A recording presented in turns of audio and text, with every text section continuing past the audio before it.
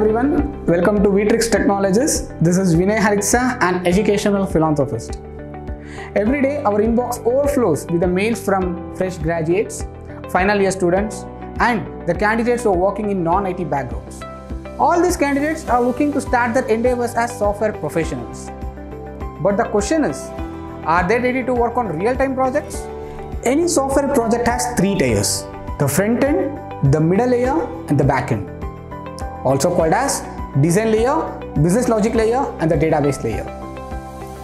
With regards to front end, we use technologies like HTML, CSS, JavaScript, jQuery, and so on. Coming to middle layer, we use technologies like Python, PHP, Java, C Sharp, and so on. Finally, the database layer.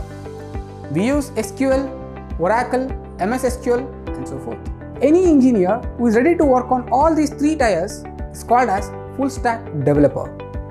Assuming that using the dedicated architecture, we have developed our project and we want to deploy it.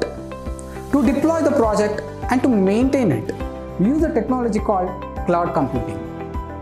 Once the project is deployed, the customer starts using it. We want to make sure the transactions are secured. So we start using the technology called cyber security. We have developed our project, we have deployed it and given a high level of security.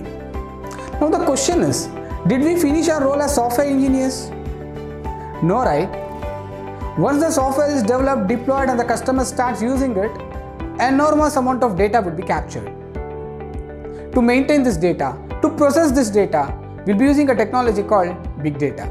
To upscale your business, to improve the customer base and to attract the customer, we need to use the technology called data analytics and business analytics. With enormous amount of data inflow, it's almost humanly impossible to take critical business decisions. And also, we need to forecast tomorrow's business. To do so, we'll be using a technology called data science, machine learning, and artificial intelligence. Now, to maintain the softwares, hardwares, and to manage the pipelines, we make benefit of a technology called DevOps. With a lot of these technologies around the world, which technology to get skilled in? For this, we have started our program called Inventive.